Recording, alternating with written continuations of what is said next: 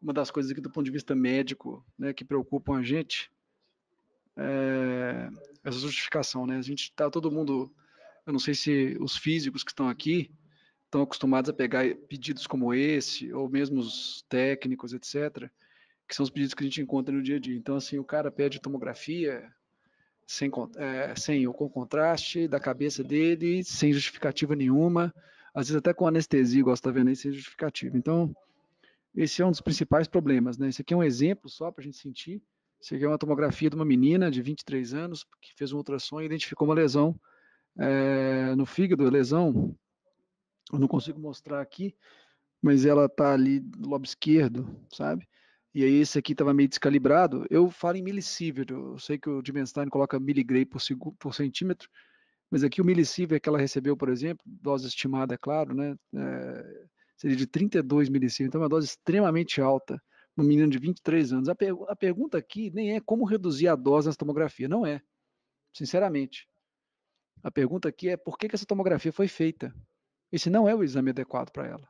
O exame adequado para ela é a ressonância que ela fez em seguida, que tem zero milisievert de radiação e resolve mais o problema dela do que aquela tomografia. Aqui, com esse exame, com esse contraste, eu consegui caracterizar essa lesão, por exemplo, como adenoma. E na tomografia eu não consegui caracterizar. Então a tomografia serviu para quê? Para falar que tem uma lesão e que eu não sei o que é e para dar radiação desnecessária. Então esse é o aspecto que a gente tem que falar. E esse aqui, por exemplo, é uma das coisas que a gente está lutando não só pelo Latin Safe agora, mas também é, por outras vias, para tentar usar alguma coisa semelhante a isso que eles têm nos Estados Unidos. Nos Estados Unidos hoje é uma lei, com o uso do Medicare, do, aquela, aquela lei do Obama, hoje o, o hospital só recebe aquele, aquele benefício, aquele dinheiro, se o exame que ele fizer estiver bem indicado dentro desse appropriateness criteria. Então, assim, o cara pode até fazer o exame, se eu não me engano, mas se não tiver dentro disso aqui, ele não vai receber o, o, o, dinheiro pelo exame. Então, no caso daquela menina, por exemplo, a CT tinha um, um, um, grau de recomendação menor do que a ressonância. O principal exame era a ressonância. Olha esse exame aqui desse senhor de 75 anos. Aquela menina lá deu 32, né? Então foram quatro séries, então cada uma foi em torno de uns 9, 8, né? Milisievert. Essa aqui esse cara fez bem, ó, fez uma tomografia sem contraste, 3.1 milisievert. Tá boa essa dose, né? Só que aqui, por exemplo, o que, que, essa, que, que é isso aí? Isso é alguma coisa ou não é? E aí o médico pediu tomografia sem contraste para descartar, por exemplo, neoplasia de colo. Esse paciente aqui de 75 anos precisava do contraste e a tomografia está indicada. Só que o exame aqui foi feito de maneira não justificada. Não vai adiantar fazer esse exame. Eu não sei o que é isso. Teria que injetar o contraste para resolver, teria que dar mais radiação para resolver. Então, aqui, se fosse mesmo optado por fazer tomografia, tem que fazer tomografia com contraste. E aí vocês veem as, as estrelinhas aí, ó, as radiaçãozinhas aí, é, mostrando que tem radiação, mas é o exame é, mais indicado nesse paciente. Aqui é uma outra menina, por exemplo. Olha só o que acontece, né? Uma menina de 21 anos. Olha essa dose. 1,9 milisievert, uma dose bem baixa. Só fizemos uma fase com contraste, uma dose adequada. Mas essa menina estava aqui, avaliação de gastroenterite.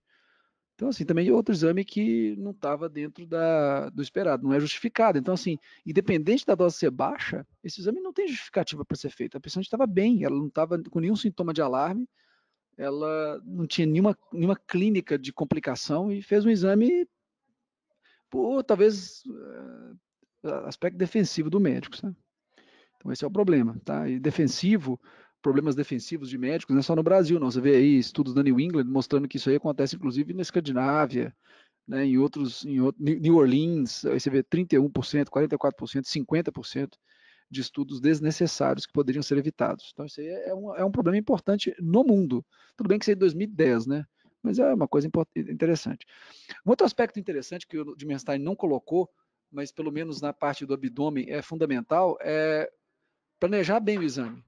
Então, no abdômen é conhecido o uso de múltiplas fases de contraste para fazer. Só que cada fase de contraste dessa, você vai colocar a mesma dose de radiação. Então, um exame que seria necessário uma fase de contraste, por exemplo, que resolveria o problema, você faz outra, fase duplica. Isso é uma coisa que aconteceu em pelo menos metade dos exames desse estudo aqui americano. Doses não indica é, fases não indicadas, aumentando a radiação de maneira não efetiva, não, não necessária, não vai, não vai aumentar o diagnóstico. Não vai ajudar em nada o diagnóstico, tá? Esse aqui é outro estudo mostrando mais ou menos a mesma coisa, aqui um exemplo. Essa menina aqui, a suspeita dela era apendicite. Ela tem 18 anos, essa menina. Suspeita dela era apendicite. O apêndice está uma beleza aí, ó. Normal. Então, nessa fase portal, fase venosa, eu dei 3,8 milisievert para ela. Ótimo. Vi que ela não tem apendicite. Só que aí a pessoa fez também a fase pré-contraste e uma fase de equilíbrio. Aí eu tripliquei a dose dela sem adicionar diagnóstico. Então, esse é o problema. Esse é um problema grave, que aumenta, por exemplo, o, o está falando da dose, da, da, das ordens de redução de dose ali em torno de 30%, 20%. Aqui eu estou falando em reduzir três vezes a dose, por causa de exames que não estão justificados, exames que com fases não justificadas, entendeu? Então esse é um problema grave. Esse paciente aqui, esse paciente é um cirrótico. Cirrótico descompensado com o nódulo que foi encontrado no ultrassom. Aqui eu tenho que dar uma dose, essa é a dose que eu tenho que dar para ele. São quatro fases, aí entra tudo que o Dimenstein falou. Vamos usar quilovoltagem mais baixa para esse nódulo ficar mais aparente na fase arterial. Vamos usar MAS um pouco mais baixo, vamos usar reconstrução interativa, mas uma dose de 16 milisievert para quatro séries, tá uma dose adequada. E esse cara, se fosse, se precisasse de mais, está indicado, porque o paciente tem aí suspeita de um câncer grave, que é o câncer, o carcinoma hepatocelular relacionado à cirrose.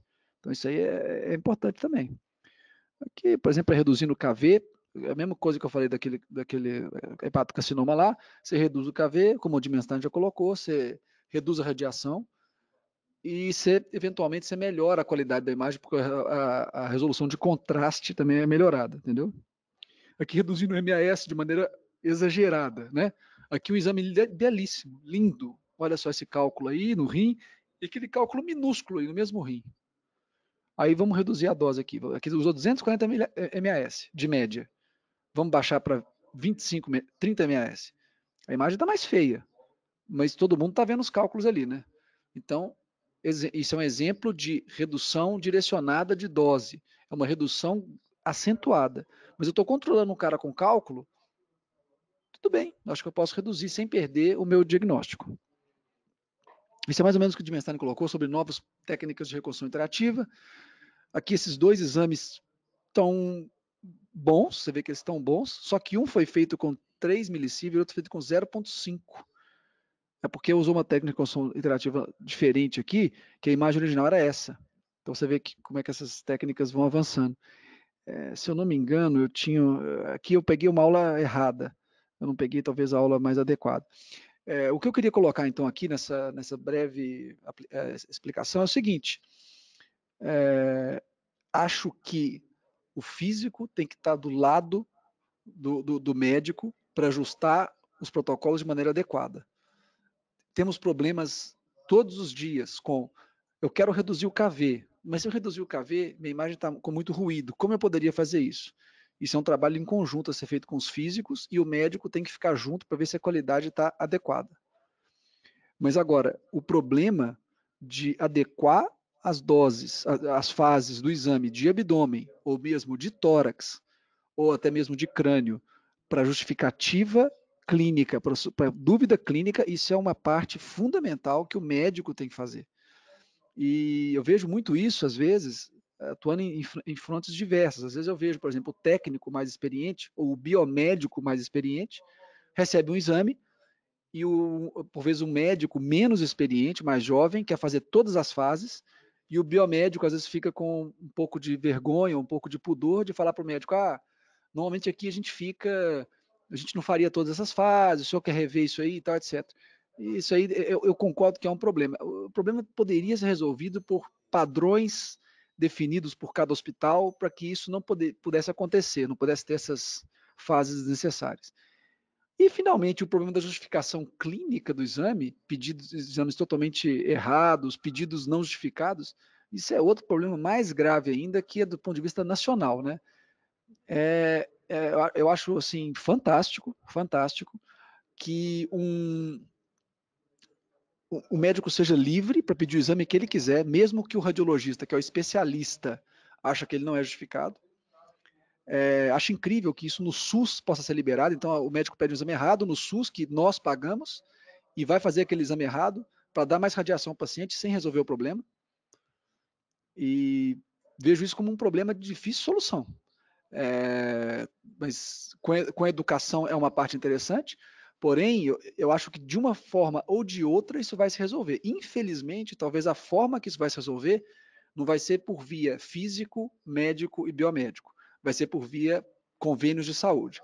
Os convênios e os operadores de saúde vão falar: todo mundo está pedindo exame totalmente errado. Nós vamos limitar da nossa cabeça o número de exames que podem ser feitos. E talvez não seja a maneira mais adequada de se fazer isso. A mais, a mais adequada seria ter um, um programa educador dos médicos solicitantes e talvez mais liberdade dos biomédicos, técnicos, físicos e médicos, radiologistas, de limitar aqueles exames desnecessários. Bem, eu acho que era isso. Nós vamos aqui abrir para algumas discussões, se alguém quiser colocar alguma coisa ou discutir outras coisas. Obrigado, pessoal.